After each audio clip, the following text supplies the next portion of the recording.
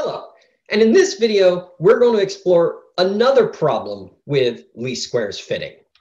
So in the previous section, we talked about ordinary least squares, or sometimes just called least squares. I'll abbreviate it OLS. And we know that ordinary least squares, the method you might have seen in a prior biology lab or a statistics class, tries to minimize the sum of the residuals. What do we mean by that? Is it means that for each uh, of our data points here, we look at the so-called residual, the difference in y between the data point and the line for each one. We square it because we want all these things to add. We don't want pluses and minus canceling each other. And so that's why we square it, the value, then we add them all up, and that's the quantity that we're trying to minimize. All right?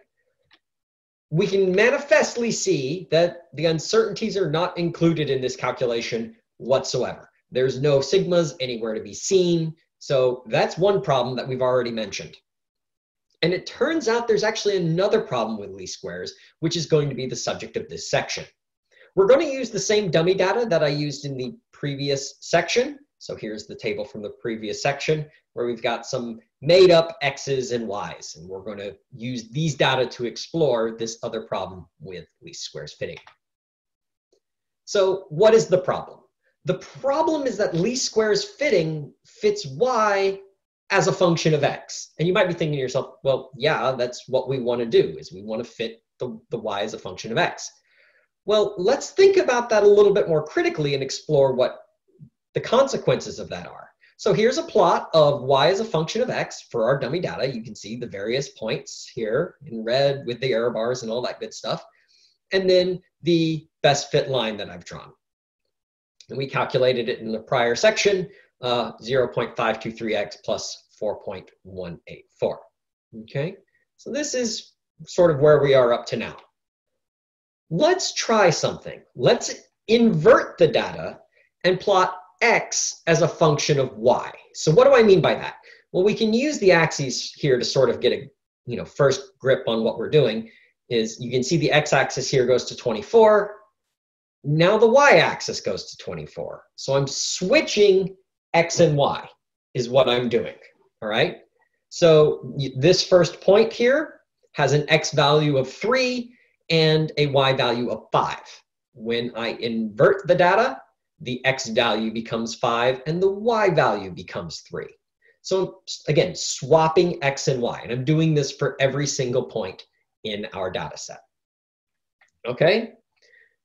Let's fit x as a function of y and compare the result to what we got before. To see how this works, I've made a little spreadsheet. So here it is. Here's our dummy data, the x and the y values that I've talked about.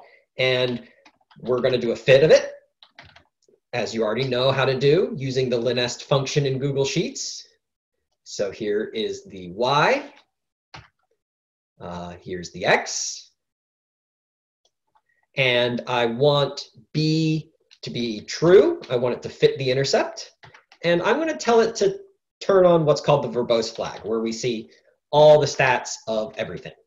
Right, so thinks a little bit, and here is our fit. I'm going to label it nicely, makes it easier for us to read. All right, so there's our fit. Let's put that in the middle, nice easy label. And let's understand a little bit of what we're looking at. So this is the slope, as you already know. This quantity is the intercept, b. This is the uncertainty in the slope. And then this is the uncertainty in the intercept b. Uh, these other quantities are other statistics, other important things but we're not going to look at them in this lab, so we are just going to cross them out and ignore them for now. All right, so this is sort of where you should be up to this point. Now, what we're going to do is we're going to flip x and y. So I'm going to make a new, a new table down below, x and y. I'm going to take my y values here, copy them, and put them where my x's should be. Okay, and then I'm going to take my x's and copy them and put them where my y's should be. Okay. This is equivalent to doing this change of graph where we go from y as a function of x to x as a function of y, right? I've switched x and y. So now I'm going to go and fit this result. In the nest, same thing, right? Usual game. Here's my y's. What used to be my x's. Here's my x's. What used to be my y's. Again, we want the uh, intercept to float. And let's turn on all the other stats. All right. So let's label things again. So there is my fit. Now my fit at y as a function, x is a function of y. Once again, we got the slope. And the intercept. We've got the uncertainty in the slope. And we've got the uncertainty in the intercept. All right, and once again, these more advanced statistics we're not going to use for the course of this lab, uh, so I'll cross them out to sort of remind us of that. Now, we've got a slope and we've got an intercept, but this is from fitting y, I mean, x is a function of y. So our slope and our intercept are, are very, very different from what we got when we got y as a function of x. But I mean, that should make sense, right? We, we inverted the data and then fit it. If we want to be able to compare these results, we need to flip back, right? We need to take the result that we got when we fit x as a function of y and sort of put it back to y as a function of x. So how do we do that? How can we get equations that we can then compare with each other? So let's look at a simpler example to see how to do that. So here's a table of data, one, two, two, four, three, six, four, eight, and there's a nice little plot of it. And this is pretty clearly y equals 2x, right? It's perfect data, y equals 2x. If I invert it, what do I get? Okay, so now my y values, 2, 4, 6, 8, have become my x values, and my x values have become my y values, 1, 2, 3, 4. Here's the little plot of those data. This graph is described by x equals 1 half y, right? so if I take 2 and I divide it by 1, I get, I mean, uh, by 2, I get 1. So these, so the slope of this graph is 1 half, and the slope of this graph is 2. So this tells us how to convert back from an inverted y, x as a function of y, back to y as a function of x. We take the inverted slope, delta x over delta y, back to the you know comparable slope y over x just by doing 1 over. So just like we see here, if I wanted to compare these two, I'd do 1 over a half, and that would bring me back to 2. So let's do that for our data, our dummy data. So here's our inverted data where I plotted x as a function of y here. And here is our fit of that inverted data that we got from LINEST. We can see the slope is uh, 1.686 and the intercept is minus 5.785. So there is our fit. I'm doing this kind of weird no notation, x to y and y to x to help us remember that this is all inverted, right? we want to get back to something we can compare to what we started with, which is y as a function of x. Well, first things first, we convert the slope. As we saw in the previous slide, how do we do that? We just do 1 over. So the slope that we can compare is 1 over 1.686 or 0.593. Okay. Now what about the intercept? For the intercept, we need to remember this other important feature of the ordinary least squares that I discussed in a previous section. That the ordinary least squares fit will always go through the point with the average x and the average y, this x bar, y bar point. And this is a feature by uh, how the least squares is constructed, but again, it should kind of make sense that you would want your fit to fit the average value. And I said that this was a feature we're going to use throughout this lab, and here we go, how to use it.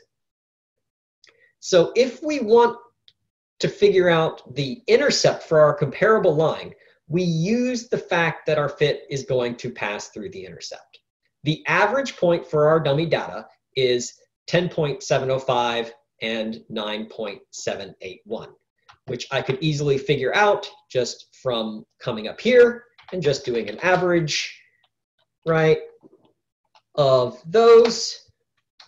And you see I get the 10.7 and the average of those, and I get the 9.78 for x and y. So that gives me an x and y value. I've got my corrected slope, and by putting my average x and my average y with my corrected slope, I can calculate a intercept value for b.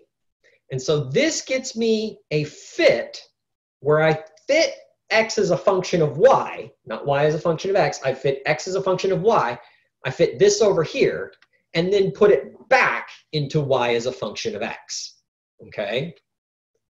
So let's compare these two graphs.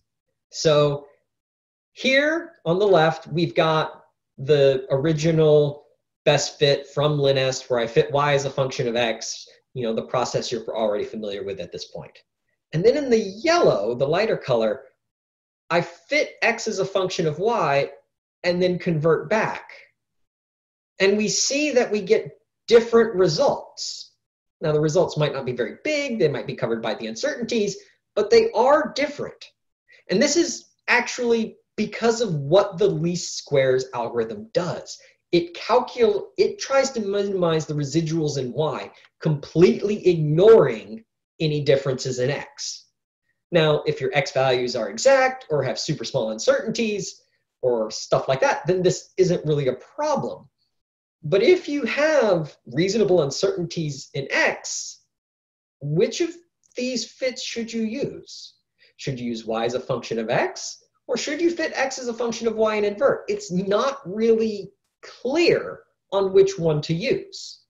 And this is the problem with least squares fitting, is if you have uncertainties in both x and y, you would get different results depending upon which way you do it.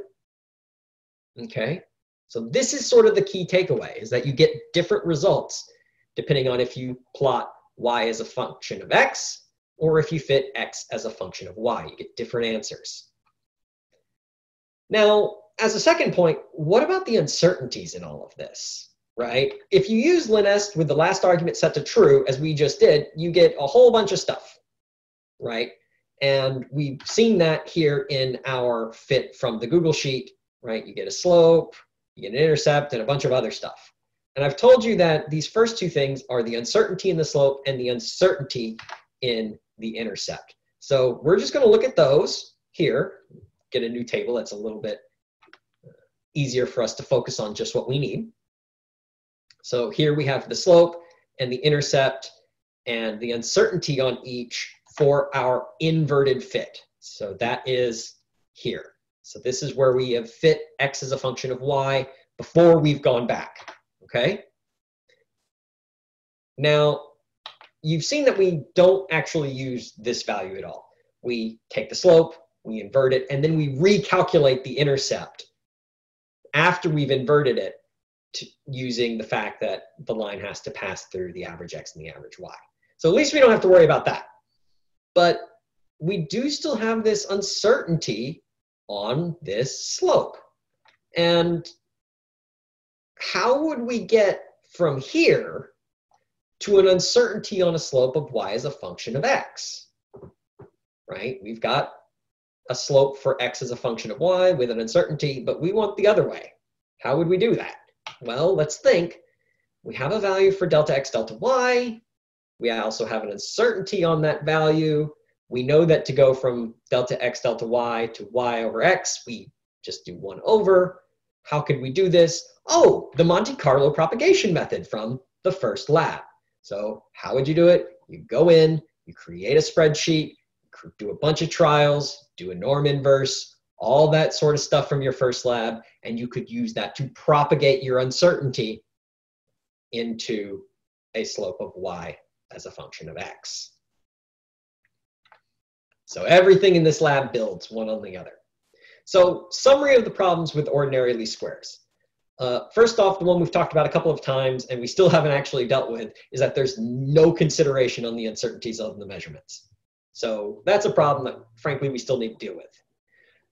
The second problem that we've explored in this video is that the process tries to minimize the sum of the residuals in the y direction only. Look at this graph here. We can see that only the y direction is being considered.